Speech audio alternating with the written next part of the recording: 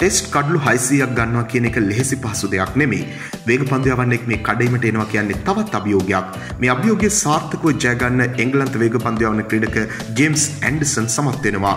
ඒ පාකිස්තාන කණ්ඩායම එක්ක ක්‍රීඩා කළ තරගයකදී ටෙස්ට් ක්‍රිකට් ඉතිහාසයේ කඩලු 600ක් පහු කරලා තියෙන්නේ පන්දයවන්නු හතර දෙනෙක් විතරයි.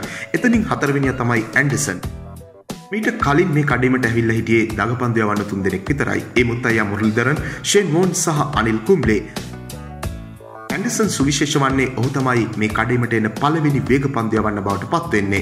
පාකිස්තාන් නායක අශා අලිගේ පිත්තෙන් පිටත අග්‍රේ වදින පන්දුවක් එංගලන්ත නායක ජෝ රූඩ් ස්ලිප් ක්‍රීඩකෙක් විදිහට රැක ගැනීමත් එක්ක තමයි ඇන්ඩසන් මේ සුවිශේෂ කඩීමට ළඟා වෙන්නේ. 2003 වර්ෂයේ ටෙස්ට් පිටියට එන මේ වෙද්දී අවුරුදු 38ක් වන මේ ක්‍රීඩකයාට කඩුළු 600ක් දවා ගන්න පන්දු 33717ක් යොමු කරන්න වෙනවා.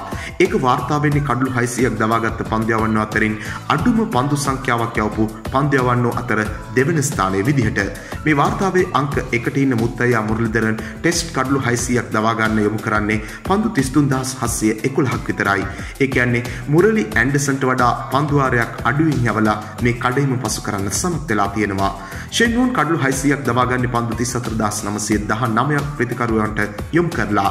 ටෙස්ට් කඩලු ලාබීන් අතර දෙවැනි තැන ඉන්න වෝන් මේ වාර්තාවේ ඉන්නේ තුන්වෙනි තැන. ඉන්දිය පාදංග පන්දයවන ක්‍රීඩකානිල් කුම්ලේ ටෙස්ට් කඩලු හයිසිය සීමාවට ළඟා වෙන්නේ පන්දු තිස් අටදස් හාරස්ය අනු හතරක් පිතිකරුවන්ට යොම් කරලා.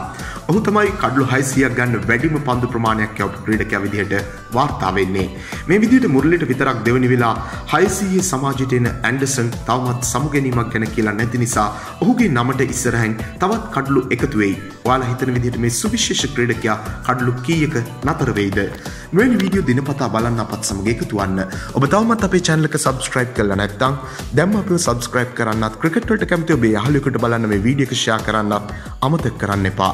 ක්‍රිකට් පිටියේ නම් දෙස් අපිට තවත් අලුත් වීඩියෝවකින් හමු වෙනතුරු ක්‍රිකට් ලංකාවෙතින් ඔයාට සුබ දවසක්.